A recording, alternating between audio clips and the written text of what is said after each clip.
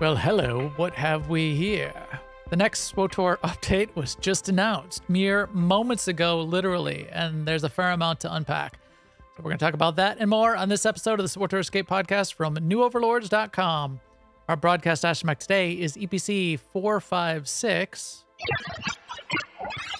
And with me is my co-host Seema. Hi Seema, how's it going? Guess what, Max? What?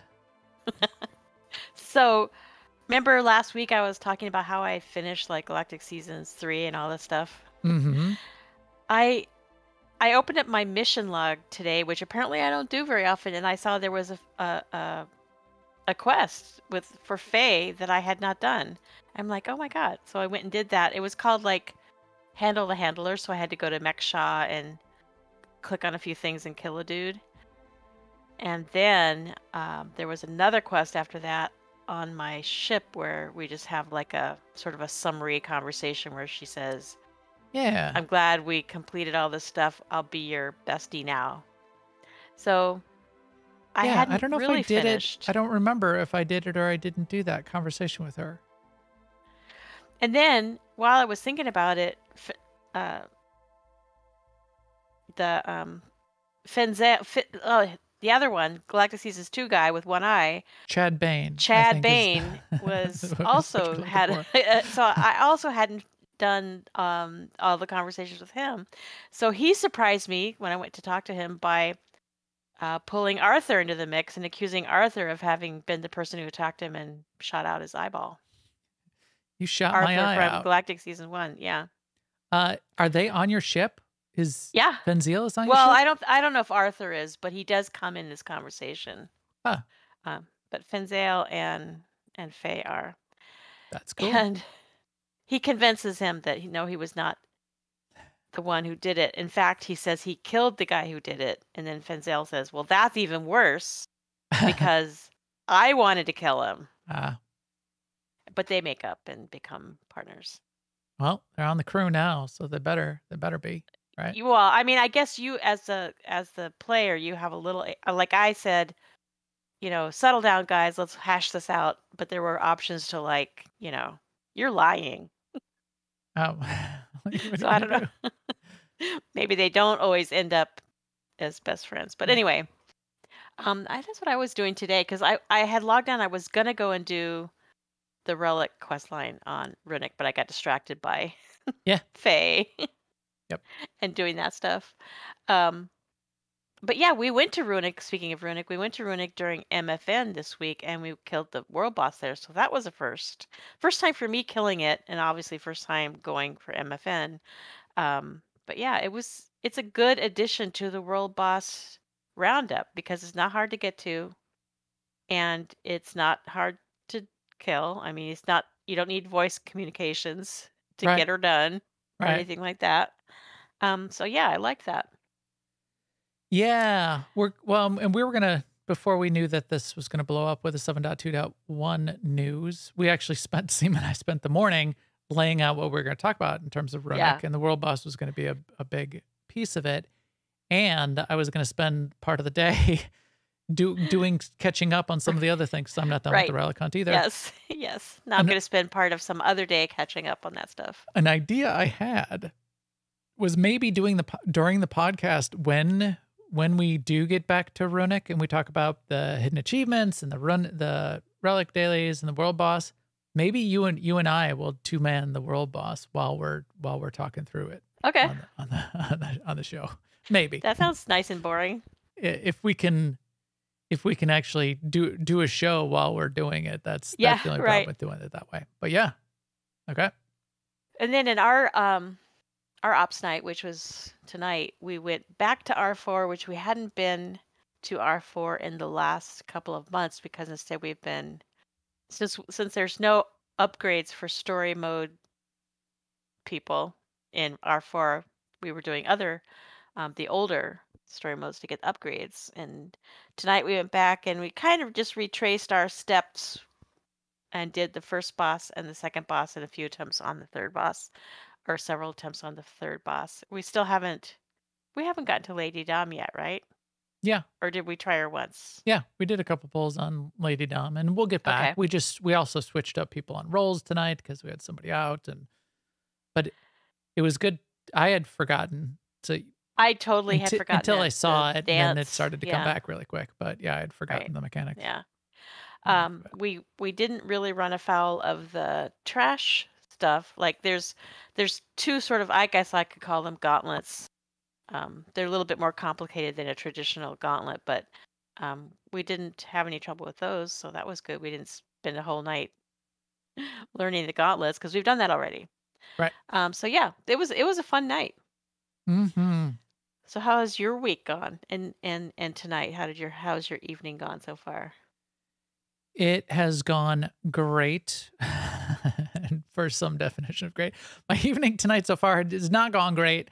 I got I broke something, and maybe uh, I don't know. Maybe I didn't break something, and maybe I maybe actually what I just did to fix it is what actually needs to be done to fix it. I don't know. It's I could not get Discord to to work. I don't know what I was doing there, uh, but it seems to be working now. So I guess that's a thing. uh, That's always frustrating yeah. things like that happen. I mean, You know, I have a weird problem with with um just with the game where it no matter what I set the graphics to, it sets it to something else every time I log back in. That is annoying. I that would bug the heck out of me. Right. heck- So heck- the I do don't mean? know if I'm not logging out correctly or you know to make it right over the old settings or whatever, but yeah, so that isn't that is frustrating stuff like that where you just Yeah. don't it doesn't seem like there's any rhyme or reason. Right. There probably is, but it's just not I just don't see it. But otherwise, I have been doing Ruhnuk stuff. I've been working on my Ruhnuk reputation because I'm going to try to get through that. I so on occasion I've been doing some of the dailies and some of the heroics. The heroic 4, soloing the heroic 4, that's actually my favorite of any of the dailies of, of or or weeklies or anything. Cuz the it's it's uh, it's like one of the fastest things to do for for me. It's it's a hard fight, but it's for whatever reason you do have to like you have to kill a couple things outside and then you just run inside and you kill the one guy. Bang, done. I've got to get a rhythm down to do the other regular dailies and get five of them done to do the weekly because I need more of that rep. I need a bunch of the rep tokens. Uh, but yeah, on Tuesday doing the world boss, I'm glad we got in there and I'm glad we killed the world boss and it wasn't a problem at at at all. I was the other thing I was I was thinking of doing was although I don't know if I would bother to record the whole thing is it is possible to solo the world boss if you're a well-geared character and you can use all of your like defensive cooldowns and healing while you're doing some DPS. It takes like 20 minutes apparently, but people do this. People go and solo that world that Ruhnuk world boss. So I was going to go do that uh, but maybe and maybe like record it for for three minutes or five minutes and then probably quit and just like walk away. I'm not gonna sit there for 20 minutes and hammer on the thing. You could you could put it on a loop and and, and say you're s- streaming like you did with and then wait for some other group to kill it and like take and then like cut to the the corpse laying on the ground. No, just never do it. Just do an endless loop like you did with Minesweeper. Yeah, dude. Yeah. Oh yeah, man. That was like that was like nine years ago or eight years ago. I streamed on Twitch for April 1st one year. I recorded myself playing Minesweeper and then I looped it. And then I put on Twitch, I said 24 hour Minesweeper stream. That's what this new channel is. And I just, I played that on a loop into the stream and just let it go for a couple hours and saw, just checked if anyone noticed. And yet people did. Anyway. That was before we reached extreme internet April 1 joke fatigue. Yes. Now I don't do. Now I log off and I go luddite and I don't touch electronics. I don't even turn on. I shut. I pull the electricity fuse in my house and I light a candle and I Scented candle, and I I chop. I a- whittle. a I- beam of I- sunlight, and I- eat your chicken I, sandwich. I I whittle. Uh, you whittle.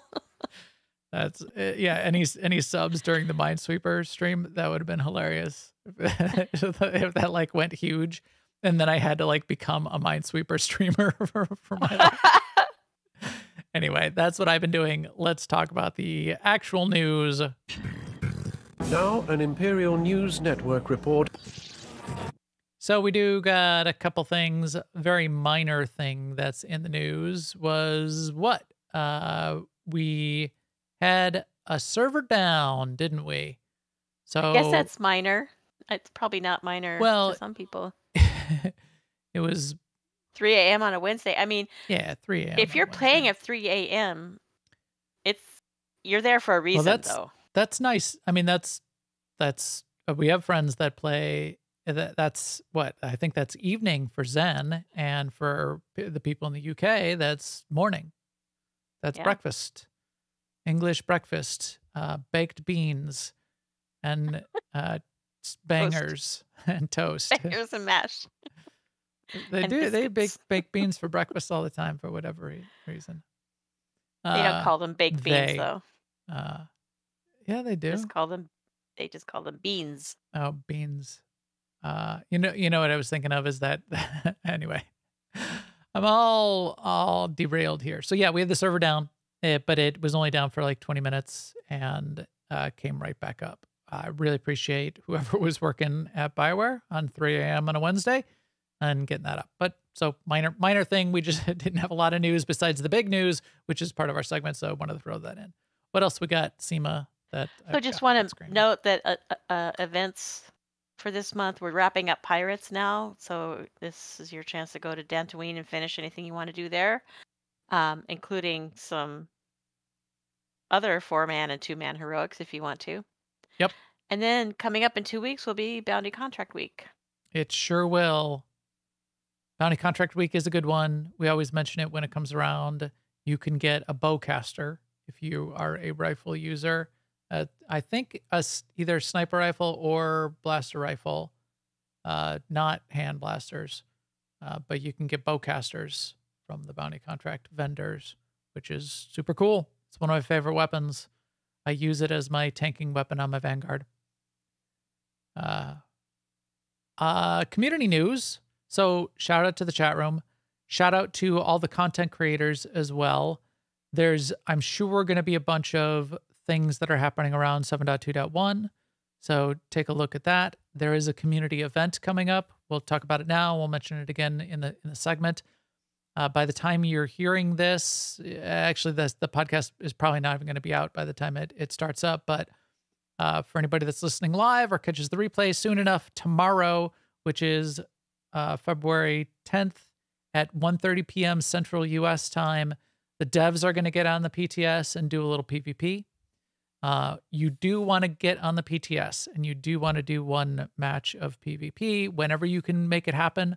And we may even try to do a guild event to, to pull people into this because if you do, you will qualify for an Opal Volptilla mount. It's been a very rare mount. mount up until this point in time. And this will give everybody an opportunity to get one. You will get it when 7.2.1 launches, but sort of a little, little community opportunity. Get get some friends, get on the PTS. Uh, it's also going to make a big deal in testing the PTS, which we'll talk about. But yeah, thank you very much for the chat room. We started a half hour, 45 minutes late tonight because I was banging around in settings all over the place, rebooting about 17 times to try to get my audio straightened out. And now I, I, I, I don't even know. I can't think about it because because we're baling wire and duct tape. It is enough to do a show and we'll get through it.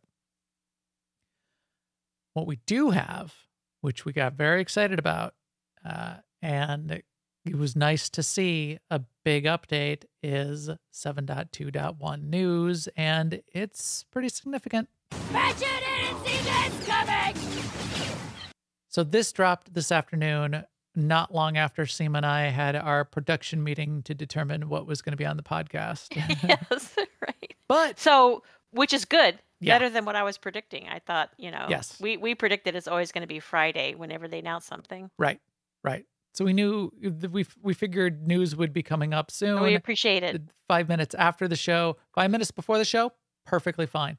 In fact, it was at, at a perfect at a perfect time because we'll still use the stuff that the you know we were just going to talk about the stuff on Ruhnuk and maybe even break it up into two. Uh, but we had homework that we are going to have to do this afternoon to like finish up some of the relic stuff, maybe record a little thing, and didn't have to do it because we've got all this. To go and uh, talk about. So, okay, uh, don't mind if we do. So that is what we're gonna do. We are gonna talk about this in detail. There is more in here than I expected for what they would be doing next, especially, and I'm a little confused that they're calling it a 7.2.1 release. I guess they haven't committed to any content, any story. So maybe that's why they're talking about it as a point, a point. A point, yeah, Point- is maybe point like one. systems updates and bug fixes. But even with that, it's it's relatively big. So we'll we'll go through it. Uh, well, I mean, I would call Galactic Season Four content. I, I, I guess we Yeah. could argue I, about. I, that, like maybe they maybe they're gonna like seven yeah. dot. Maybe they only use the major the you know like dot three needs to have like a story beat or something before they'll call it a dot three. So they had to call this one a a, a two dot one. I don't know. yeah, Uh, so we'll go through in their order. We'll we'll talk about this stuff. We'll give our kind of hot take because a couple of these deserve some some hot takes. And it, but I mean, our hot takes will be relatively uh, c- w- pleasantly warm and comfortable because that's how, how we roll. I I like what I'm seeing in general. Uh, number one though, Galactic season four. So Galactic season four, a passage of peace. Did they a passage of peace? Is that what that? yeah, a passage of peace. Like, Yeah, that's what it's out. called. I don't know. I thought I don't know why that, in my head that was something else. Like, did they come in and edit this in the last in the last hour? right? Is Jackie on here editing it to to to mess me up while while I'm looking at it on the stream? Uh, no, I'm sure she is not. Uh, Passage of Peace. So this sounds a little bit different than like the hey gangster gambler gangster shooter guy stuff that we've had. I wonder, and this is speculation. The companion's name is Amity. What do you think, Seema? Is this going to be one of the things that we talked about last week and in our Discord about would you prefer a a force user companion? You think this is going to be? You think I Amity is going to be it? I I hope I'm not being sort of influenced by wishful thinking, but it feels very, like you say, non-gangstery. So like, oh, I don't know. Unless they have some reason why they need for Galactic Season companions to be always to be tech. I I feel like this could be a force user Yeah. and a pub force user. Well, it's got to work for Imperial players too. It does have to work both, but but I mean that's like, um, Yeah. you know, Yeah. Darth Hexed Right. can be a companion for either side. Yeah. Right, exactly. So it could be right. It could be a, a Jedi that joins your alliance, even if you know. I mean, it, I just say that because the word amity would it means like friendship or something. It Right. doesn't sound very Right. dark side. along with this companion Amity, and I will who we we will be traversing the galaxy with.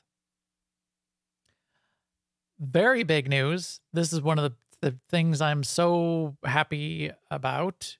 Uh, is a Meksha stronghold, Meksha Meksha hideout stronghold. That sold this whole. That's that's why I think this should be like an 8.0 release right there. Not- so not do that one. oh yes, The Meksha. stronghold. right. That is awesome. Oh, oh, wow. Okay. So you talk about how much you like the Meksha stronghold, and I will real quick on the back end. Somebody, does anyone remember?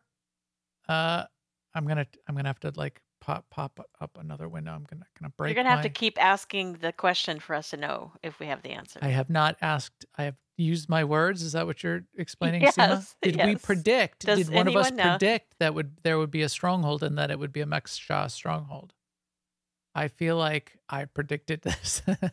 oh, I see. Uh, now I know what you're looking for. Does anyone remember if he predicted a Meksha? I think a couple of times you predicted a Meksha stronghold. okay, I did predict a stronghold. I didn't specify Meksha in my note here for the stronghold, but I said a new stronghold with upgraded graphics and textures. So I I may have burned myself a little bit. I may only get partial credit if it still has the, just the regular Meksha uh, graphical Graphics. assets. Yeah. So we will see. Well, I'm I'm kind of excited about it. I want to see how it I want to see how it pans out. I think our raid leader Corley though has already shot himself in the foot because he said if I'm if I if I'm not able to see live things going on outside my Meksha stronghold, then I'm gonna be mad. Like, okay, well, you might be mad. Well, he, well, he just said see ships flying around, like Okay. which, if you look outside the fleet stronghold, you can see the band in the in the VIP lounge. It's not the real VIP lounge, and you can't see players out there. It's a it's a simulation. It's a it's a you're in the matrix. I thought he the way I took it was, and I see what you're saying, but the way I took it was he wanted to see what was really going on outside his apartment. I don't think that's gonna happen. Yeah, that I don't think that'll happen either. I don't think that's how strongholds work because they are an instanced area, and they have to like simulate you looking out the window. Uh, but I I agree. I want it to to feel live. I want it to feel like you're actually part of the planet. I want to be able to look out and Yes, see I, the I totally. Yeah. the force field. Because remember, Meksha, you're in the carved out uh, concave face of an asteroid, a mining asteroid mining colony. So it's you basically the whole town is etched into the face of the asteroid, and then it's got a shield dome with openings in it, so she, so ships can come in and out. The other thing I really like about Meksha, and I I offered to design this for them. I don't know if you're this is like a year ago two two years ago. I offered to design this with for them. The way the buildings are kind of built in Meksha is is very sort of vertical. Everything's sort of stacked up. It's almost if you took cargo containers and you you stacked them up. Right. So my idea for this for a stronghold was sort of build it into a vertical with walkways where you got to go up and down and you make it seem like your your rooms are carved out of these cargo container boxes and you got to go up and down through a few of them and that's how your your areas are are spread out. They do say it'll be similar in size and scale to the seasonal fleet strongholds, so a little bit more apartment size. I'm totally cool with that. That Yeah, me sounds too. that sounds good to me. I don't need a another big huge one. I love my Yavin stronghold, for example, and I I use you know five percent of it because I I like the outdoor area with the landing pad where I put some of my big trophies, and I've got my GTN and all my banks and the vendor and everything kind of all laid out there right outside on the in the front lawn, and I never go inside. It's great. It's the only stronghold I've sort of decorated 100% in ac- Right. actual decorations, not just uh, fields of Chairs. chairs. Although I, I think it still has posters on on the walls. But I've got like back in the tunnel underneath the waterfall, I've got all my racklings from my Lord of the Rackling title. They're all spread out down there. But I only use that front area. So a smaller one is perfectly fine, especially if the hooks are well designed so that you can sort of stand in one place and touch all the banks, the mailbox, GTN, and a vendor like a little Jawa to sell junk. That's perfect. That's that's what I like. And I can kind of do that standing in one spot, touch all of those things in my stronghold almost. I gotta I gotta stretch a little bit to like get, get to the guild bank. So yeah, that that sounds great. And Galactic Season 4 already announcing it makes me feel like whenever this comes, they're they they talked about this idea of of getting things getting things going and they've got things lined up. This is this is what they've mentioned that they're going to be able to be releasing content. That's what Keith alluded to in his description of where things were moving and where things were headed. This seems like they're lining it up and they're going to they're to keep things rolling. Cuz this is the one thing that they're to they're going to spin right back up is another galactic season. And then the next thing that they're going to spin right up is a PvP season. So as soon as 7.2.1 releases, PvP season 2 will release. That's also interesting to me. What uh what are your what are your thoughts there, Seema? About oh, about when we're gonna see this? No, well, Well- I am going to ask you that. I'll Oh, I'll okay. wait to ask you that. I don't know. Just any any thoughts on the PvP season? I'm glad that they're Oh, Starting it no, I up right away. thoughts. Yeah. Um you know i'm i'm glad that they're throwing it out there especially for the people that are into the pvp and into the pvp seasons. Nice to keep it rolling not have a big gap in between where sort of nothing's going on. One of the thing they do mention which i think is kind of important with this is they are looking at tweaking the way things work. And if they keep these seasons going and they tweak from, from season to season to season, uh, that can keep things lively, interesting. Uh, so they say explicitly they've been monitoring the feedback. One thing that they already changed in the PTS, which you can check out, is the changes to attacker and defender medals. So if you play the Alderaan Warzone, the new attacker and defender medals are live in Alderaan because you need those medals to achieve some of the objectives of what you're trying to do to progress in the PvP season. And it was really hard to get them in certain situations. A couple questions from the chat room and, and input. Intisar, uh, love seeing you in there, Intisar. Uh, wish the Galactic season and the PvP season didn't overlap. I kind of wish that too. I kind of wish that myself. Now, I just thought you can dovetail it a little bit because often, at least every other week, there's a Galactic season objective that has to do with PvP, and there's there's ranked and unranked or uh, arena and uh, uh, Warzone. So you can sort of So you can roll it in a little bit, but it does make it difficult. hit two targets with the same BB. Yes, hit two targets with the same BB. That's I think that's that's how it goes.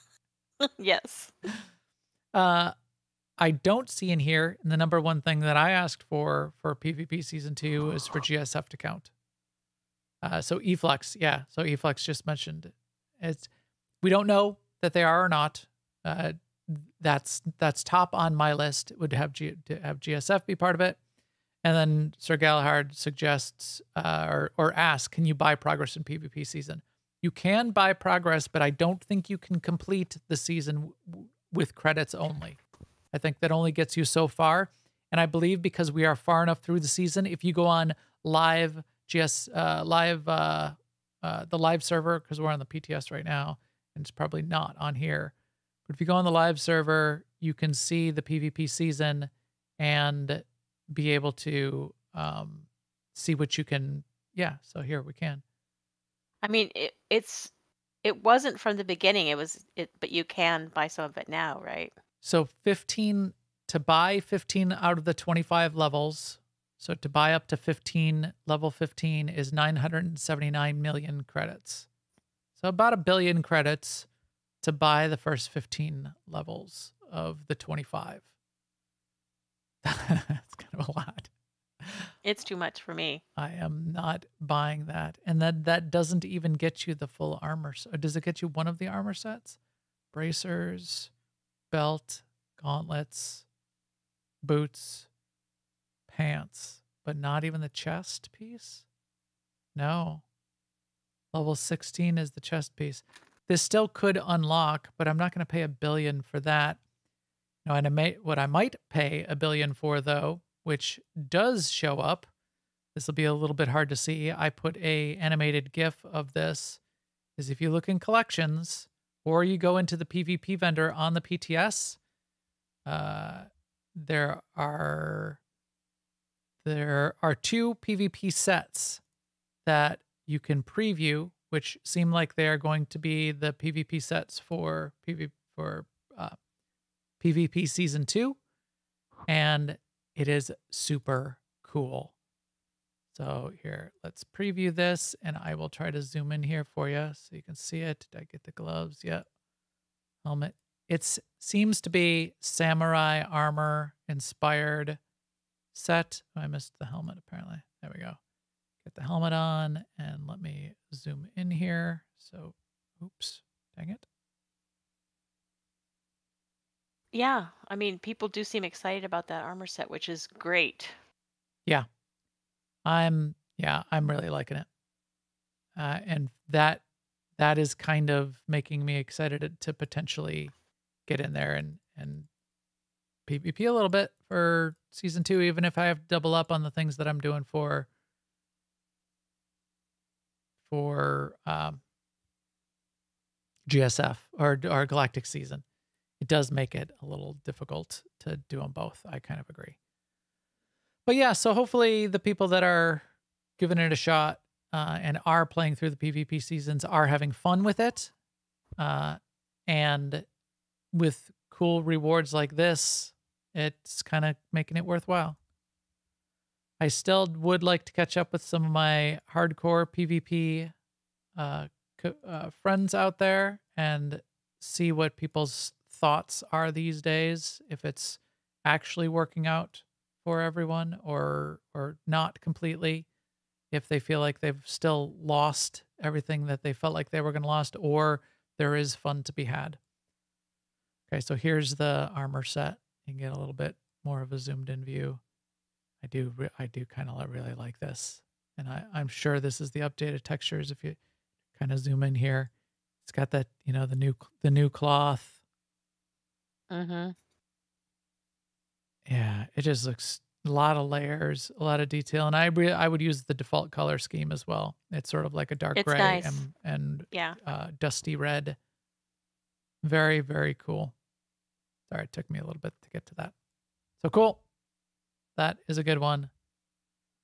What else we got? This is the next. This is a good topic, Seema. You introduce this next topic, and uh, we will tell everyone why they are wrong in how they're thinking about it. So they are putting in some stuff to combat inflation.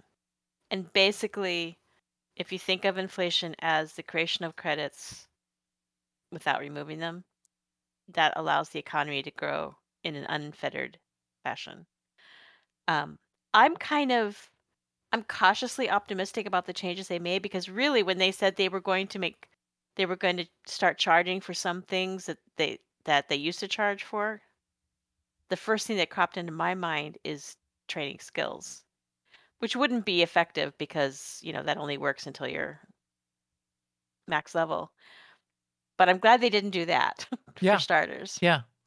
Um, a, a feedback from a lot of people seem is that it seems like it's too little, but I'm okay with that. It might be too little because they, um, I get the feeling they're going to start with this and add things going forward. Yeah. So basically, that what they've started with is is they're gonna is gonna they're gonna start charging for credits for quick travel. Also charging credits for using your stronghold for travel. Yep. Which, yeah, which is is a bit painful, and a bunch of people are sort of ra- raging against that one as as an option that they don't like. Well, I mean, yeah. Yeah. It's going to be painful because basically things we've been getting for free won't be free anymore. But I feel like it's a necessary move Yes. because right now what hap- I think I feel what would happen to me if I started this game today and I, and I went to check the AH and I saw the prices, I would think, okay, I have 10 credits and things are on the AH for a billion credits. That's like a number that I can't even conceptualize really. So Right. so that would be an, would, that would be off-putting. it is it is off-putting if you're used to MMOs. It's it's not. Uh because and I you know, I've I jump jump around to every game. Like you go to Eve and there's things that I mean, you start with 10 10 IS 10 10 units or whatever and there's things that cost like a trillion. So first this is what I do in every MMO. First to get to max level, then I worry about the currency because once you're at max level, then the, the, the currency really starts to flow, which is true in Star Wars. But it's still it's still very difficult for a lot of reasons because anything that now is at that billion cap with the GTN capped at a billion uh, is it, it, makes it difficult for things that are kind of worth more than a billion. That gets really crazy. And the other thing that's very difficult is for uh, the limits on credits for people that are preferred or free to play, because there's you know big swaths of things that that's just not even physically possible for people to buy because Right. they're they've got caps on how much credits they're allowed to have. So one of one of the um, points that people have, have said is that this is really punishing for the brand new player. So like you when you create a character, you start with zero credits.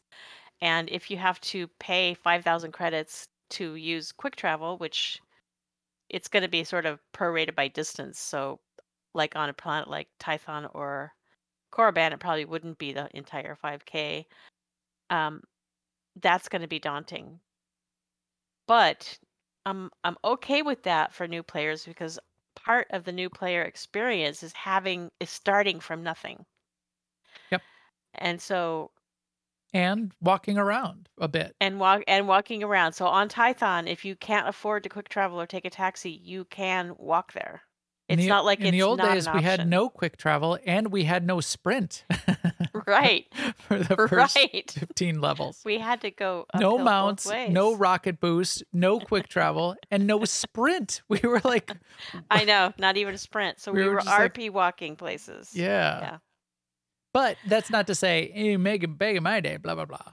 Uh, it it is it is a cost. Now, quick travel. They they said the cost will range from 100 credits to 5,000 credits. I would expect on planets like Korriban and Tython, it's going to be in the 100 credit range. Yeah, because they're tiny. Uh, so that's that's a thing. Um, uh, priority transport. That's And but another comment that people have made though about that is that it's it's going to be ineffective because it's it's punishing for the new player, and then me as an existing player won't even feel it. But that's kind of missing the point. It's not Yes. about whether players feel it or not. Whether or not it'll be effective against inflation Yes. has nothing to do with whether players feel it or not. Yes.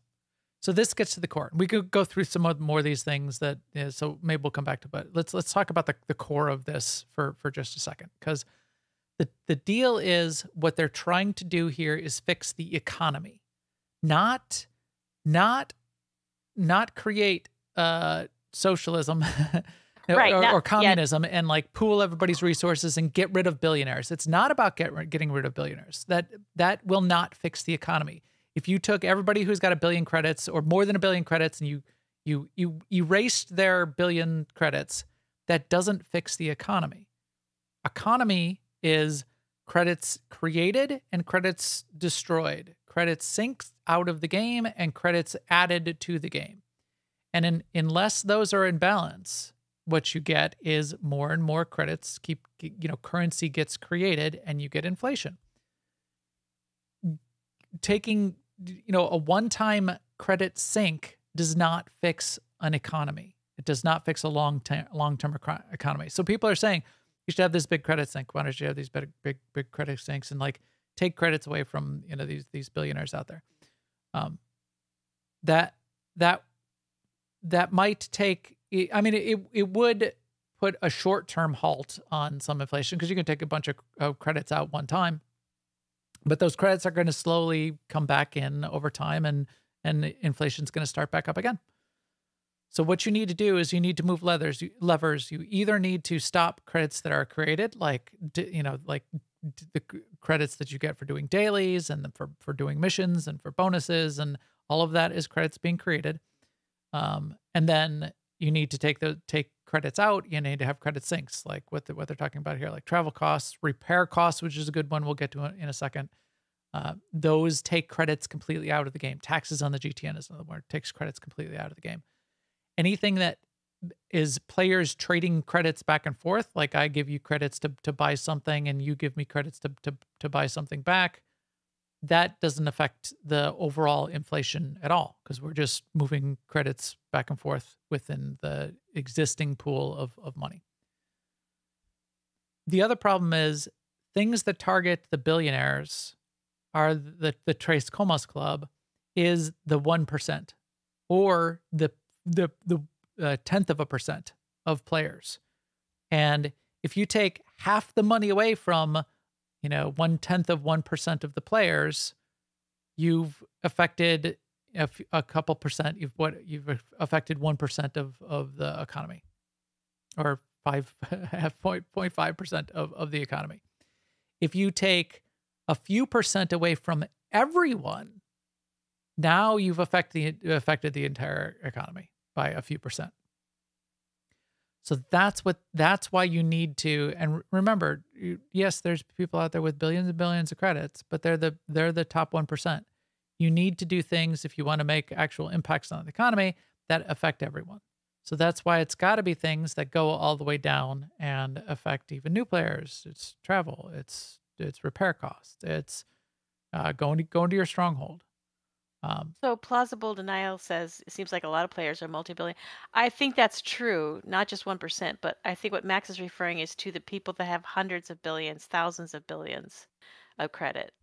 and Like while- I have 10 billion credits just from playing the game and selling what I get. Really not doing anything more than that.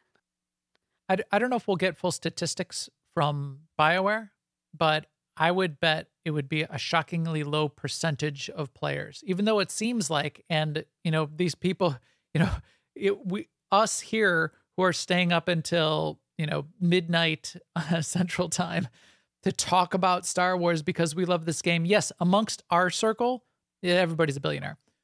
Right. But, but of people that play Star Wars: The Old Republic and and own it on Steam and jump in the game and play it, you know, ev- in a, every once in a while, and are playing through class stories, it's a diminishingly small percentage of players. They have said from time to time things like, "What percentage of players play, you know, to play operations?" And it's like, it's like a few percent, and you, all of us here would go, "What?" We all do operations. That's all we do. Right. We do operations all the time. What are you talking about? It's not. It's it's it's the you need to do things that are uh, going to affect all of the people who've never even leveled to to max level yet.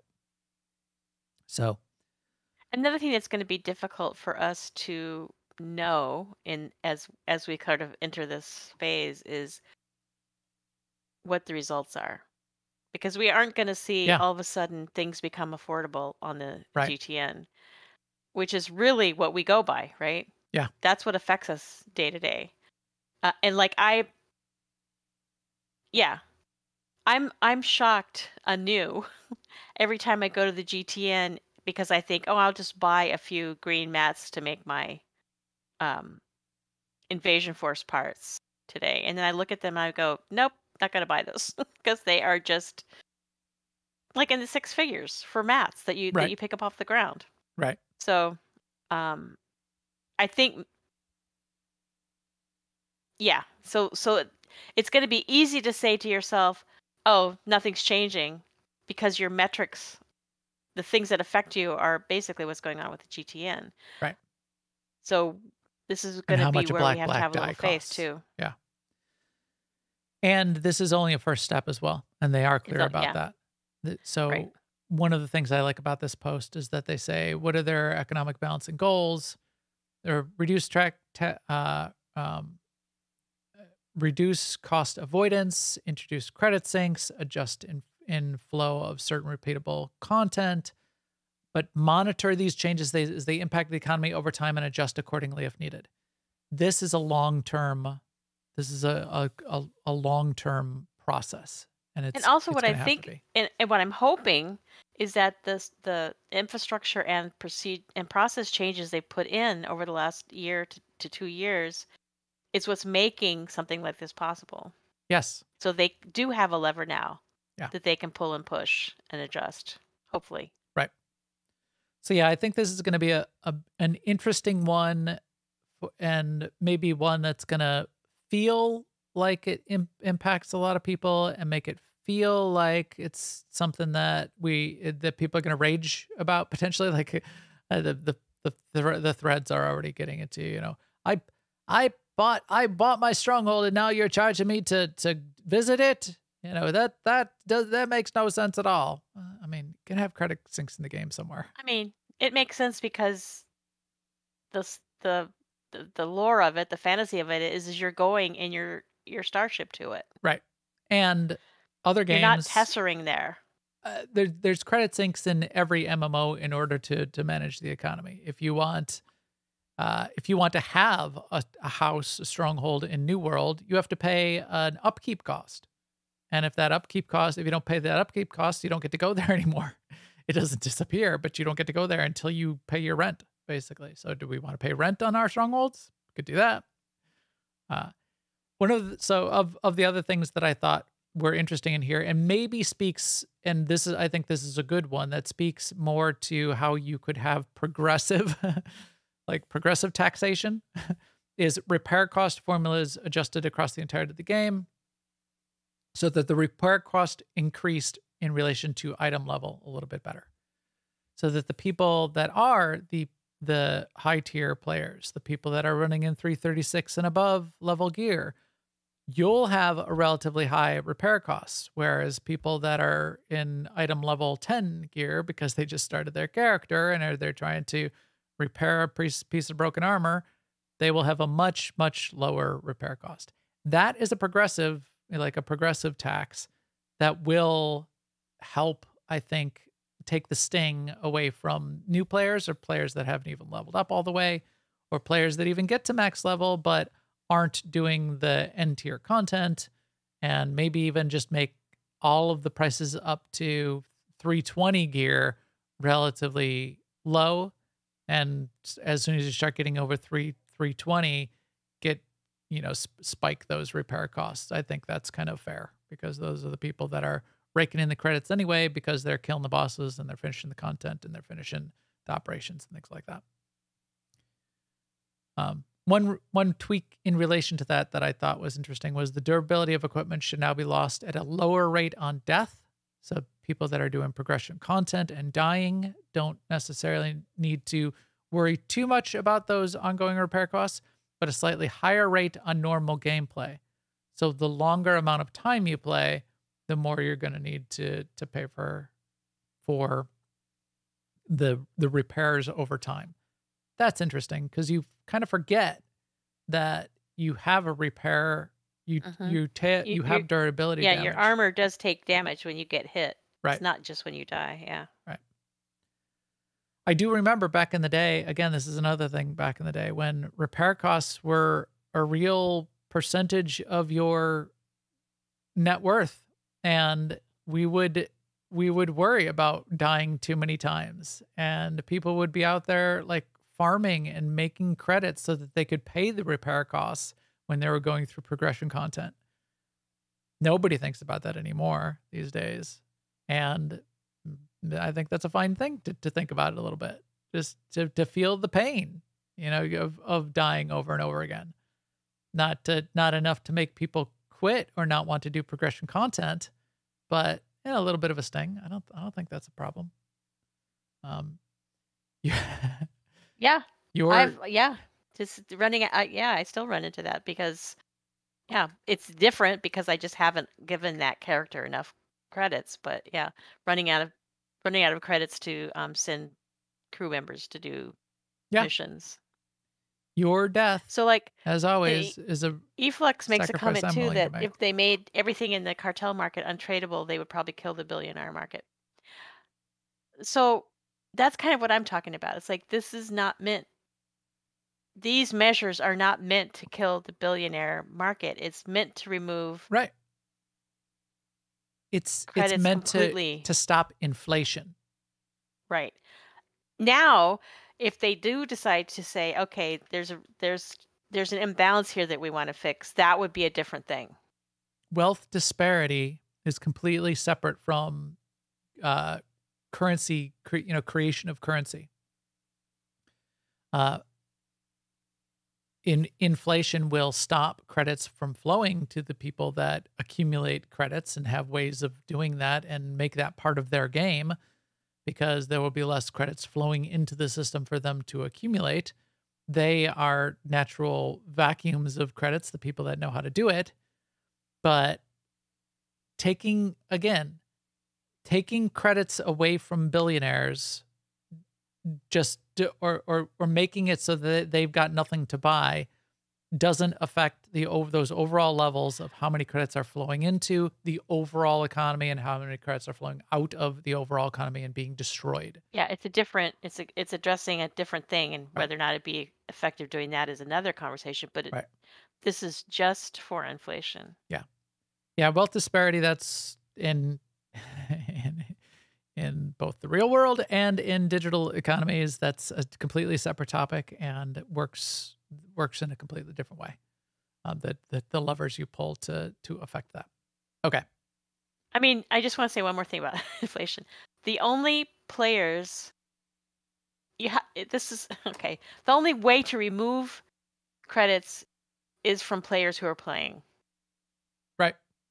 I mean, unless you have like a stronghold tax where if you don't pay it in cer- within certain months, then you somehow. But even then, if you could put it on auto pay, maybe. But where where I was going with that is like you could have a player who's sitting on hundreds of billions of credits. If they stop playing, Yeah. they're yeah. That's a credit thing. That, those credits have still been created. Right. They've still been created, and if they ever come back, they're still in the economy. Yeah. Uh, those those players leaving, that's a that's a a credit sink, but we're not going to sort of like systematically try to achieve that at scale. Uh, but it's uh, take taking credits away or yeah, the, what what those pools of of existing credits do, especially between players, doesn't affect the the Right. economy and inflation or deflation. So since we brought up Brent for strongholds, I personally would be against that just for me because I don't want something that I have to remember to do. Right. I I I don't think I would re- I would I don't think I would begrudge it. I just don't want something that I have to keep track of. I tend to not like in any game some sort of passive ongoing tax as opposed to active costs. I prefer So I prefer like having to pay for travel or Yeah. having to pay Yeah. for something. because then it's I you know, I'm interested in doing a thing. I'm going to pay that cost to go do that thing. And if I need to build up some credits to go pay the cost to go do a thing, I'm motivated to do a thing. What I don't want is, hey, I, I'm not, you know, I, I'm going on vacation for the next two weeks and, oh, I'm going to, you know, not be able to pay the, the tax on my stronghold when I get back and all my credits are going to pass, you know, be passively draining away while I'm gone. You know, that just feels bad. There are games that that do that, and I don't like that. The other, the other worst version of that that, that I really don't like is decay. Uh, you know, where if you don't pay the tax or if you don't do some sort of upkeep or task, then your stronghold decays away and things are destroyed. That really bothers me. So Another thing that people are sort of spitballing about is like, what are some like really big but attractive things they could add to the game that people would buy from vendors, and then that would remove a large amount of credits from the economy. And and I just want to say, typically, those don't remove enough right, because and it's a then the time. person can just decide not to buy the thing. It's it's one time and it's not systematic. So you might be be able to take you know like if it, you have an if if if the creation of currency is on an upward traje- trajectory and you put in a bunch of really attractive credit sinks so that the billionaires pay a billion dollars to you know whatever do whatever thing then you'll get a, a little dip cliff and then that that same slope of the graph will then continue up so the inflation is the slope of the graph. The inflation is not, I mean, even if you wiped all credits from the game but kept things the way they are now, it would just start, everything would start at zero and that graph would still go up. And that's the I mean, inflation, is the slope of the One graph. One of the things that they've done system wide system wise that's really generous to the player is the way that you can set up your inventory so that as you create new players, they already have max inventory at no cost to you. I mean, I don't know of any other game that does that. Yeah. Right. So like if the way our inventory slots work, it's you don't buy bags from another player, you just that's a credit sink that could have been reintroduced. training um, training costs. Uh, Y- y- you Yeah. know, hi, but I think co- the travel thing is thing, is but- going to be a good a good one because everyone does it all the time they play. Whereas training costs you only do till you're max level. Tra- And yeah, travel repair I think is a really good one. And I would probably raise taxes on the GTN. I would Uh, pay a billion credits for inventory search. if you could buy an unlock for inventory search the, or the seeing all the, you know. Anyway, the, thing I would really like about uh, taxes, raising the taxes on the GTN is what's the downside there? People might stop using stop using the GTN and just trade directly. That, mhm. in my mind, would be a win. It, now because now you've got people, you know, more people interacting and Yeah. you know, more more live trading, and the people that do use the GTN, that's those the taxes on the GTN are credits like those credits are destroyed. Yeah. Ra- raise the taxes. The people that still want to sit around and sell things for a billion, they list everything for a billion credits on the GTN. Fine, we'll just take big big chunks of, of that stuff. That's a little bit progressive because if I'm only selling things for a hundred thousand credits, you know, a thousand, you know, a thousand credit tax or whatever is not a, that big a deal, as opposed to a hundred million credit tax. One thing they haven't done, and I thought they, and they might still do in the future, is pay less credits, pay Yes. fewer credits for th- some things. And that is that is on their list and they're detailed. So Yeah. adjusting the inflow in certain repeatable content. So what that means is, see, I feel like they all have already done this. If you look at the Ruhnuk the Ruhnuk dailies, yes, yes, the bonus missions and the Ruhnuk dailies, you get 16k credits. That's that's like nothing, and that Well, I- uh continues to be nothing. I mean, what do you get? What do you get? I think it's nothing because you don't get rep or anything like that. But It's I mean, what do you yeah, get that- for I bonus quest on Coruscant? Yeah, maybe it's maybe it is maybe it is significant. Still sixteen thousand credits, I guess. When we're talking about like hundred credits or five thousand credits for the most expensive possible quick travel, and one bonus mission on one daily gets you sixteen thousand. It's significant. But that is that is a way. Is the other the other lever you have to to make that graph get flat is to lower the sources of credits coming into the game and those sources of credits are mission rewards. That's probably number one. So I think it's interesting that they they included priority transport because I don't think I've used that in forever. no, you know what we use, which I wonder if it will be part of this. We to and sort of get around that is the heroic transports. Yeah, So yeah, interesting. yeah, good point. Not I'm gonna be like that that kid in in class that goes. Did you forget to give us the teacher? Did you forget to raise the cost on uh, heroic transports? And everybody's gonna go, ah. I will say. Um, all right. Uh, the the couple of two w- one other big thing, um, which which which we should should certainly talk about. What we have been talking about for months is the 64-bit client. So they've said, and we didn't realize this would be coming this quickly. 7.2.1. So the next update is going to be the 64-bit client. Uh, we're on the. Are we still logged in? Nope, I logged out.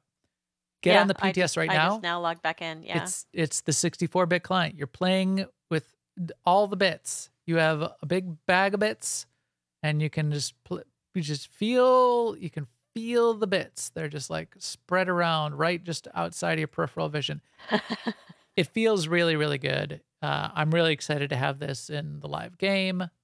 It feels really smooth. Everything just uh, just feels performant and smooth and smoothed out. The big challenge here is that it requires a ton of testing. So they've done a ton of ton of their own testing. They've got all of their their test their test harnesses and test configurations. What they can't do though is every single player's weird combination of, you know, 1 to 10 year old hardware mixing processors and motherboards and video cards. It's impossible. laptops, Impossible. desktops, Yeah, laptops, all desktops, uh, Steam Deck, whatever. Yeah, whatever your whatever you know, whatever configuration you're playing it on. So they need people just to get on, just get on the PTS and do anything. Just do anything. Now, this is why they've added in this really cool reward if you get on the PTS and play a Warzone, which is a significant thing. And it's it's a you know it's group content, and then there's you're sort of, sort of getting at least a number of people in a, in a particular place, and everybody's using all of their abilities. You go do one war zone. get on the PTS and do one war zone, and you will get an Opal Volptilla mount. This is the rarest mount in the game, one of the rarest mounts in the game. I guess I can't say it's necessarily the rarest if we go back back to some of the old days. But a very rare mount currently, and it's a new mount that's very rare. I am writing here on the screen right now the red Volptilla. There's the two that are in the game are the red Volptilla and the blue Volptilla. The opal has been limited to just a number of giveaway codes, prize codes that some of the content creators and the the devs have had. Very limited in distribution, probably it you know basically handfuls of, of people of, of all that have had opal Vol- Volptillas up to this point. So everyone will get them now. Uh, the, the the it's a very cool opportunity to get something pretty rare. It's worth it to get on there and do it because you're also helping out making the game better. As we said, uh, participating in PvP matches is what you want to do. The best times to do that are either right now, as soon as you hear this, people will be front loading their activity on the PTS. As soon as the PTS comes up, people get in there and try it. I was on there this afternoon. People are trying to get PvP matches going. Uh, Friday, February 10th at 1:30 p.m. Central. Again, when this when this hits the YouTube feeds, probably be, probably going to be too late, but maybe there'll be more going on over the weekend as well. But Friday, 1:30 p.m. Central, the devs were going to get on, and that usually spikes activity. Great time to do it. They also tend to repeat that from time to time. So Jackie may be able to rally the troops and get the devs in there on Monday or Tuesdays as well. And then if not, get with your guild. All you need is eight people, four four people to do two teams of four and queue up, and you'll get an arena. And we in AIE Guild may try to get that going in the in the next week or two as well. Uh, for everybody that misses the the thing tomorrow and wants to wants to get in on it. Um, so, and if we do that, maybe we'll put put a shout out and other people can queue up too. We're we're not looking to just do a, a private PvP event. If it's an opportunity for more people to get on there and they know people are queuing, people will jump on and queue to get that done. Cool, cool. So that brings us to the key question. The the the critical question, SEMA. when are we going to get 7.2.1? Now, now here's significant input because I would be pretty aggressive in saying, "Oh, you know, we're going to get it. I maybe we're going to get it in a few weeks." Uh, we can't get it any earlier than 25 days from the sound of of this right. recording. Like Galactic Seasons 4 is not going to start during Galactic Seasons 3. Right. And PvP season two is not going to start. You know, that's still got 25 days as well. It can't And- start for 25 days. So, so far, the pattern has been that we have a pretty good break between Galactic Seasons. Um, but they could telescope that down a bit. Yes, which I think they're going to. I think this is going to come hot on the heels of of just I mean cuz 25 days is still a significant amount of time and the everything is looking really good on the PTS. It's not like they have a bunch of content to refine or an operation to build or or anything like that. And this is 7.2.1. I think it's I think just from everything I've seen and what I'm seeing on the PTS, they're seem like they're pot- potentially pretty close to ready to go. Okay, I'm going to go with March 21. March 21st. So what would what's actually 25 days from now? So here's the 10th. There's 7 14 21. So 25 days is March 7th. Then, right? That's about 25 days from now. Uh that's or the 6th or or whatever. Yeah, Uh, and so what did you say then? 21st. Uh March 21st. So 2 weeks after that? Yeah. Ooh, that's a really good date. Okay. I mean, I thought I was giving it three weeks because I did my February math too quickly, but yeah, I- I'll stick with 21. That's a really good date.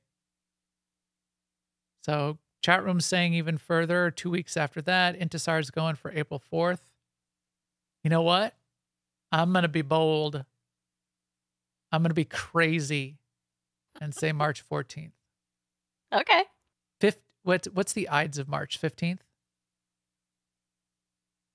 That's a good question. I think the Ides of March is March 15th. Isn't that the Ides of March? Yep, that's what Google says too. Okay. Ides of March. That's what I'm saying. All right, I gotta I gotta make a note here. Uh Sema says March 21st. Uh Max says Ides of March. Okay. I will put together a question thread and we will have a a prize code not an opal flotilla because you'll get you'll get those anyway but something significant a big i'll get us a big prize code maybe something like a 30 day subscription prize code for the whoever gets the the right date in us central time uh, so that's that's what you have to put into that thread. I'll put it in our in our Discord, newoverlords.com slash Discord, and the answers in the in the we have questions uh seg forum. I'll put a forum post in there. It'll be random between the people who get it right. You get one guess and put you know put it in there. 30 day subcode. Um, if I can get it, which I, I think I can. If not, it'll be like uh, you know, cartel coins or, or something like that. Um, and uh, if if a hundred people get it, it'll have to be a random drawing out of those hundred. But you only get one. You only get one guess. So, and go crazy. I don't know what I'm saying. that sounds fun. That's that's that's a fun. Uh, but I like SEMA. I like the 21st. I maybe we'll have to put together a distribution chart to see how many guesses people have in various places. Uh, Ides of March. I like mine. I think that's a good one. yeah, I mean that is pretty co- cool. Yeah. All right. Anything else on uh, 7.2.1? Um, I'm glad we got the news. What do you think, Sema? Oh, I'm really glad. Yeah, I'm. I, well, I mean, I've been sort of looking forward to Galactic Seasons four, almost before we f- I finished Galactic Seasons three. Right. Although I I did enjoy having a break too, so I guess it's win-win for me. Yep. It is a bit of a wild bucking bronco, and sometimes it's fun to What? to get off and take a break. Yes, Um, yes. but you do want to get back on that roller coaster and uh, riding that train is fun. I'm gonna mix all the metaphors. We don't want to close the barn door after the train's left the station, there, folks. And if a frog had wings, he wouldn't bump his Oh. ass a hopping. we have a we have a sentimental vote for May the fourth. Okay, that's the something's got to happen on May the fourth. Might as might as well be this. I think that's much too far out in the future, but it's a good, it's a great day for a choice. Okay, with that, our EPC four five six droid, four hundred fifty sixth astromech to broadcast this podcast is going out on airlock for all of you out there. Probably won't be in out in time for that PvP event with the devs that's happening tomorrow, but around there, I'll try to get it going tomorrow if I can get it cut tonight and processed on YouTube. All the feed and subscribe links are on newoverlords.com and YouTube slash new overlords. You can also come chat with us in our Discord, which is growing nicely. It's still small, but it's growing.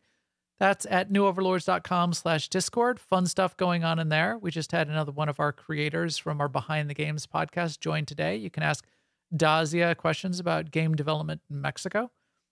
You can follow me on Twitter for announcements. I'm still on Twitter when it's up and available. I was kind of baffled when TweetDeck disappeared for a little bit yesterday, but it's still there. At Max the Grey is where you can find me, and then at the New Overlords is our channel feed. And if you're there or on Facebook or Instagram or uh, LinkedIn, some of the stuff was on LinkedIn. Anyway, we will keep you up to date in all of those places. And with that, with that, we will talk to you soon. Later, everyone.